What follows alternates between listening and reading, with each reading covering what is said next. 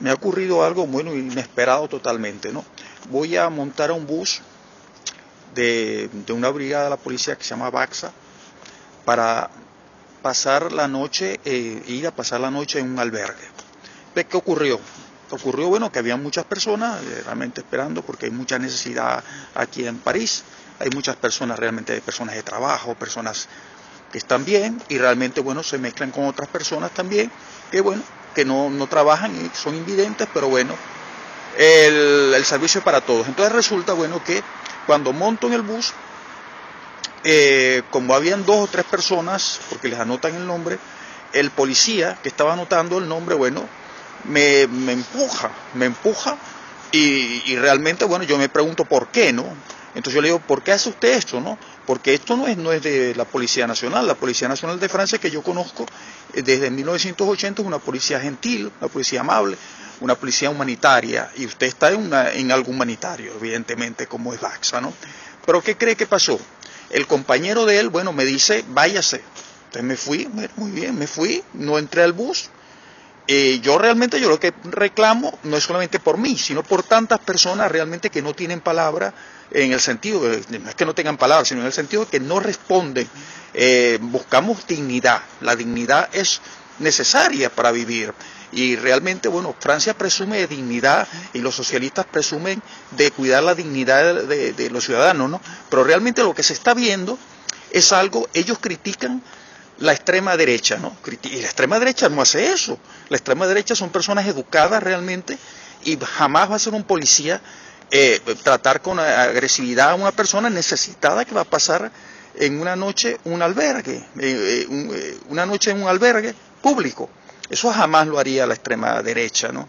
Y el señor que se le ofrece, que a sus órdenes, ¿qué quiere usted? Y el otro policía diciendo, bueno, no pasa nada, señor, monte, aquí no pasó nada. Pero realmente es una tensión que yo les hago, ¿no?